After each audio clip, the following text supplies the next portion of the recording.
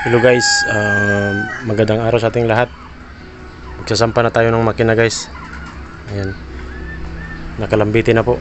Isasampa na po natin tong binuo namin na makina. For GG2. Ayan. Dito natin siya ilagay. Ayan guys.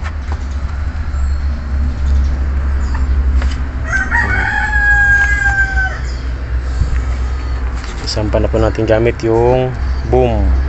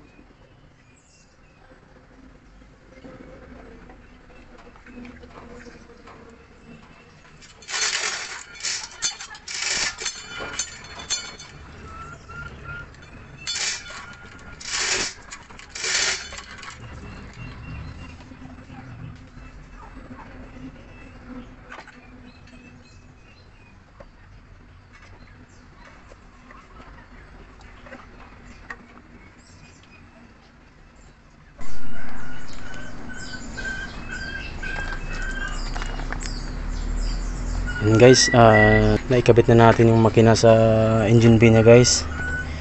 Yan, nailapat na natin yung bill housing. Tsaka makina. Yan, kulang na lang po sa higpit. Pati dito sa engine support guys, yan, nailapat na po natin. Yan sa kabila din. Yan. Ah, bali, higpitan na lang po lahat yung mga tornilyo. Para papanda rin na ito. Abangan nyo po ang pagpaandar nito guys. Pu- putulin ko muna yung video. Hanggang dito na lang yung video ngayon. Antabayan na lang po ang pagpaandar namin nito.